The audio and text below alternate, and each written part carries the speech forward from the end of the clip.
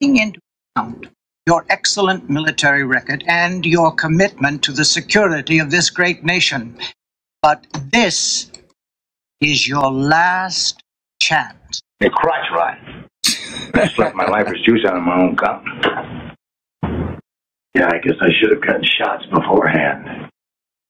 Your brain was half as quick as your mouse skunk stool. You'd be a friggin' 20 star general by now. I was half as ugly as you, Sergeant Major. Decorated Marine, isn't I'd be a poster boy for a prophylactic. Still a mean and nasty bastard. Damn good to see you, Tom. You Take it easy now. Everybody's gonna think I'm spoken for. Those old